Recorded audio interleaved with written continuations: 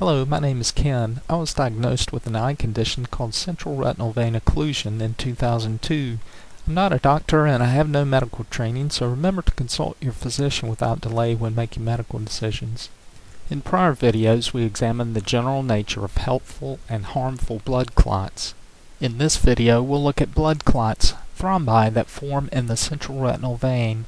Are they really the cause of central retinal vein occlusion? Why do they form? And how does the body deal with them? Answers to questions like these may help us as patients understand more about what's happening inside our eyes throughout the course of this condition. Much of what we know with regard to these questions is the result of a century-long succession of tissue studies that began in the late 1800s. These tissue studies involve donated eyes, typically from individuals with severe central retinal vein occlusion, who had their eye removed after developing uncontrolled neovascular glaucoma. In the most recent of these studies, Dr. Green and fellow researchers found a thrombus in all of the 29 donated eyes they examined. Having tissue samples in which the time elapsed from the occlusion to the time of removal of the eye varying from as little as 6 hours all the way up to 15 years, Dr. Green built a case for interpreting the occlusive changes seen in the central retinal vein of these eyes as the normal evolution of a thrombus over time, from a fresh thrombus all the way through the process of organization to the remnants of an old thrombus. General sentiment seems to have gravitated toward Dr. Green's line of thinking with regard to the prominent role of thrombus formation in these severe cases of central retinal vein occlusion. However, a number of cases brought forth during the century-long debate raise at least the possibility that some of these cases of severe central retinal vein occlusion may not involve a thrombus.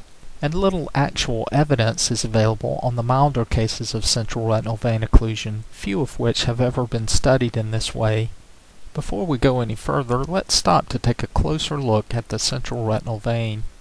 As you may recall, the central retinal artery and the central retinal vein run for a short distance through the center of the optic nerve. In order for the central retinal vessels and the fibers of the optic nerve to pass into the back of the eye, they must traverse a structure called the lamina cribrosa.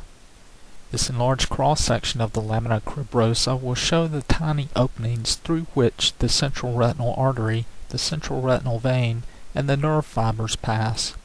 The connective tissue fibers that form the meshwork around these openings provides the support and snug fit necessary to contain the internal pressure of the eye. In Dr. Green's tissue study, they found that in each of the 29 eyes examined, the thrombus was located here, in the vicinity of the lamina cribrosa.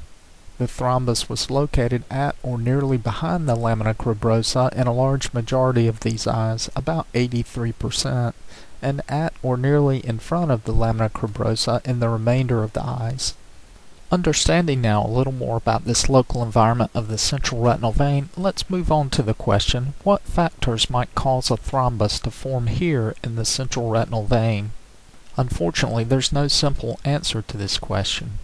In a prior discussion of Virchow's triad, we saw that many circumstances may, especially when they occur in combination, contribute to thrombus formation.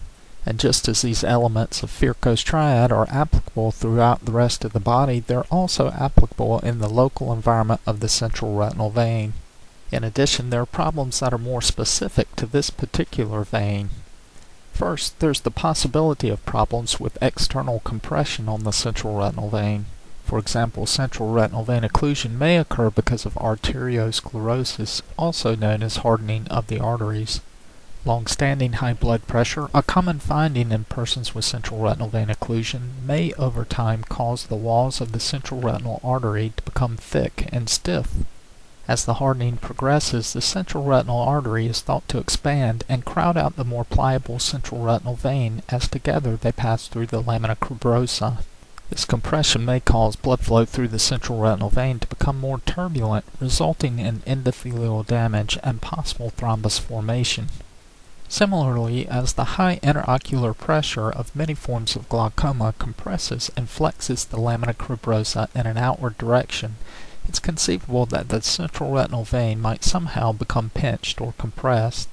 and advanced age itself, long associated with a higher incidence of central retinal vein occlusion, may cause a slow thickening of the fibers of the lamina cribrosa, which could possibly have some additional compressive effect. Other examples of compression along the length of the central retinal vein include swelling of the optic disc, optic disc drusen, which are accumulations or pockets of cellular debris that may enlarge, harden, and eventually press on the retinal veins, bleeding within the optic nerve, possibly as a result of head trauma, and finally, the formation or expansion of a tumor behind the eye. In addition to the problems caused by compression of the central retinal vein, the walls of the central retinal vein itself may become inflamed or degenerated. When inflammation occurs in the walls of a vein, it's called phlebitis. Several of the tissue studies mentioned earlier in this video involved cases of inflammation in the central retinal vein wall. Dr. Coats suggested that this inflammation is more prevalent in the young, while sclerosis of the central retinal artery is more typical of older patients. Dr. Green seems to have felt that this inflammation was more of a reaction to the thrombus than a cause of thrombus formation. Degenerative changes in the central retinal vein wall observed by Dr. Klein included areas where the endothelium had pulled away from the vein wall, areas where there was swelling of the endothelium, and areas where the endothelial cells had unnaturally multiplied. A final group of local factors that may contribute to thrombus formation are problems of sluggish blood flow through the central retinal vein. Examples include anything that restricts the arterial supply of blood to the retinal venous system, like the artery narrowing effects of arteriosclerosis or atherosclerosis in the central retinal artery, and arterial spasms where the small arteries of the retina spontaneously constrict. Dr. Hayreh suggests that normal nighttime reductions in blood pressure may also result in sluggish blood flow through the central retinal vein, causing a gradual, cumulative night-by-night expansion of the thrombus in the central retinal vein. He also points out that increases in interocular pressure, that is, pressure within the eye, tend to resist the flow of blood through the retina, potentially causing blood to stagnate and thereby contribute to thrombus formation. As discussed in a prior video, hyperviscosity, thicker than normal blood, is also regularly mentioned in connection with slower than normal blood flow through the central retinal vein. Now let's turn to a final question. When these clots form, how does the body deal with the thrombus in the central retinal vein? There are several ways that the body might try to deal with these clots. First, the body will probably try to dissolve the clot. If for some reason, though, the body is not able to generate a strong enough clot dissolving response, over time the thrombus becomes organized. A thrombus that occludes the central retinal vein may develop small channels during the process of organization, which allow a certain amount of blood to pass through the clot. This is called recanalization. With regard to recanalization, Dr. Green's study found that all of the 24 eyes examined where the occlusion was two weeks old or older showed evidence of recanalization. Of the three eyes examined where the occlusion was one to four days old, Two of the three eyes showed evidence of recanalization, and neither of the two eyes examined where the occlusion was less than 24 hours old showed signs of recanalization. In addition to recanalizing the thrombus, the body may attempt to bypass the blockage. You may recall the two circulation pathways that supply blood to the retina. In one pathway, the central retinal artery and central retinal vein supply blood to the retina from the inside of the eye while in the second pathway the choroid supplies blood to the retina from underneath the retina. During a central retinal vein occlusion, the first pathway through the central retinal vessels is impaired, but the second pathway through the choroid continues to function. Collateral vessels, then, are vessels that connect the circulation pathway that's not working to the circulation pathway that is working, allowing a certain amount of blood to exit the eye through the outflow channels of the choroid, the vortex veins, without having to traverse the central retinal vein. It's the body's way of attempting to bypass the problem in the central retinal vein.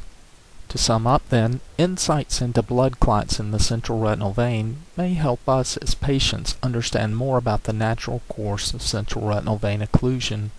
And although the precise cause of an occlusion in the central retinal vein will often remain unclear, a basic understanding of Virchow's triad and the unique characteristics of the central retinal vein give us a framework with which to begin to understand how an occlusion may have developed in our particular circumstances.